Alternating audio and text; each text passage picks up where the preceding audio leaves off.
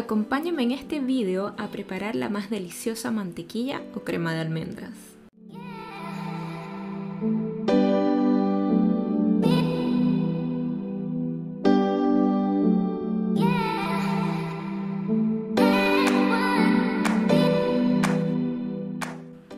Hacer los frutos secos parte de nuestra dieta apoya nuestra salud ayudando a tu cuerpo a regular el azúcar en la sangre y a disminuir el riesgo de un ataque al corazón.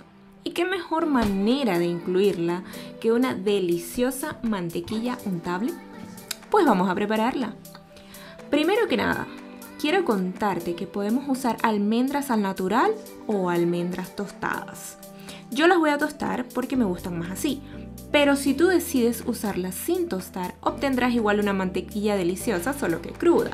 Pero ojo, eh, esta preparación con las almendras crudas tarda casi el doble o el triple de tiempo que la versión tostada. ¿Por qué? Porque al tostarla el calor ayuda a que se liberen más rápido los aceites que tienen las almendras. La versión con almendras tostadas además tiene un sabor más pronunciado y como te dije que tarda menos en estar lista. Como en todo, la mantequilla de frutos secos puedes hacer la cantidad que quieras o que necesites, pero por razones prácticas yo te recomiendo que hagas al menos una taza para que tu máquina ande bien, porque si pones muy poquito le va a costar más trabajo a sacarla o quizás no saque la mantequilla como tal. Utiliza un procesador de alimentos de buena capacidad o una licuadora que sea bastante potente. Una vez tostadas mis almendras, las he colocado en mi procesador de alimentos a velocidad alta. De vez en cuando tenemos que detener el procesador para darle un descanso y revisar cómo van nuestras almendras.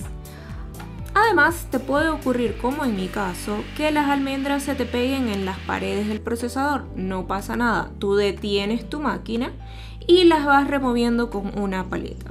Bien, una vez que las almendras comiencen a formar una pasta, ya sabrás que falta poquito. Le daría 5 minutos más, aunque eso dependería de tu máquina.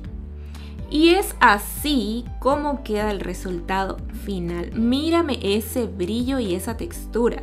Ya tenemos acá nuestra mantequilla de almendras. Esta mantequilla es ideal para untar en galletas, en panes comérsela con frutas, a cucharadas o para usarlas en recetas. Bueno, si te la vas a comer a cucharadas, yo te recomiendo que solo una pequeñita porque tiene sus calorías a pesar de que es saludable.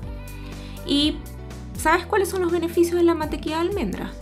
Bueno, te cuento que aporta magnesio, que es un mineral clave en varios procesos metabólicos y en la salud de nuestros huesos. Además de que tienen un importante antioxidante, que es la vitamina E entre otros muchos nutrientes más.